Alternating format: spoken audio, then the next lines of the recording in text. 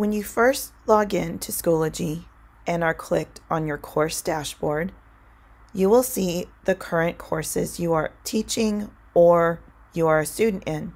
In this case, Mrs. Ash has her sandbox and a course she took last summer as a student.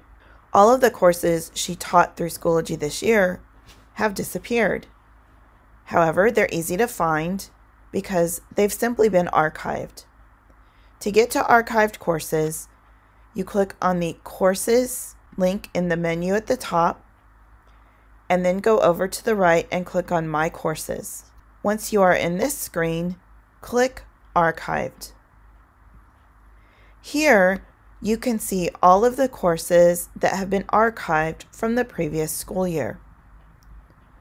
One thing to note is you can actually click inside of these courses and find activities or assessments you created and copy them out to current courses.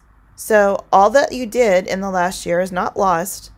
It's just here in your archived courses. To see your active courses again, you would click here on current. And you can also simply return to your Schoology homepage and click on your course dashboard. Or click courses in the main menu.